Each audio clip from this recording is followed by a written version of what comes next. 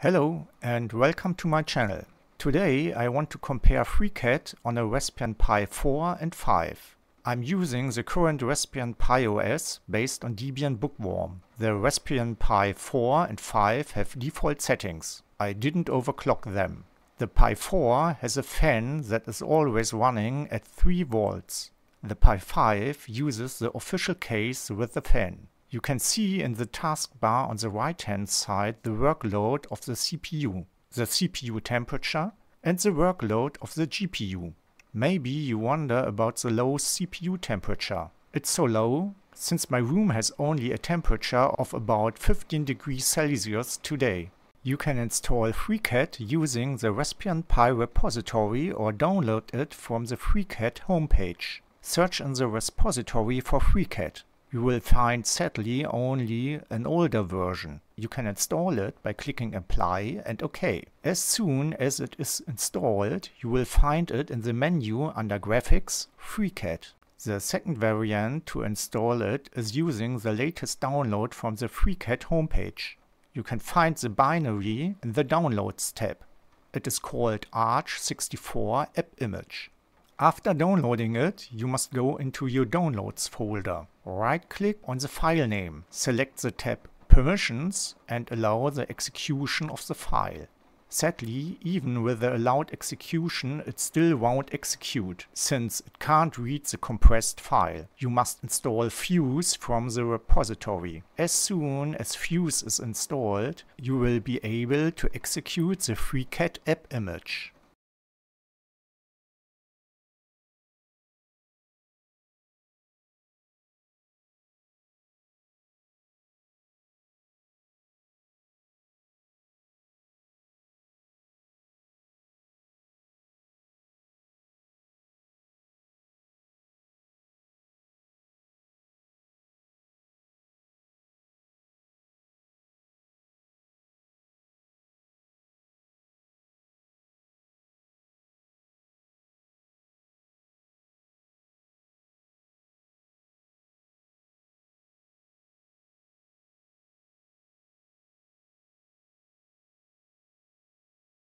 For the test, I'm using two benchmark files from the user Markin Oath. You can find his document in the FreeCAD forum.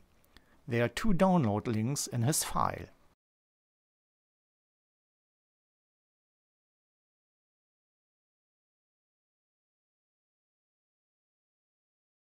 Let's have a look at the Pi 4. First, I started an official sample file.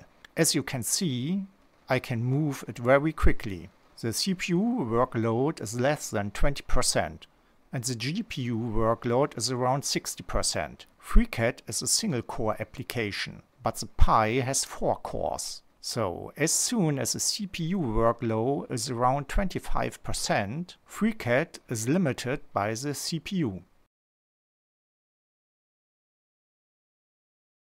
The sample with the panel is already a bit slow.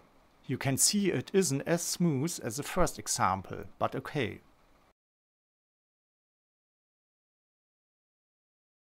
The second example is very slow. I guess maybe one frame per second. The GPU is nearly not used at the moment, but one core has a full workload, so it is limited by the slow CPU.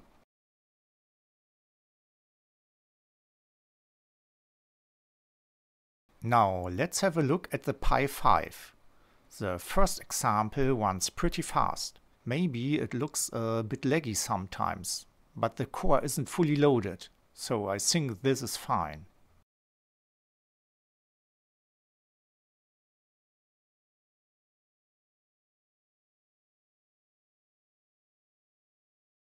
The second example loads in less than the half time and it runs much faster than on the Pi 4.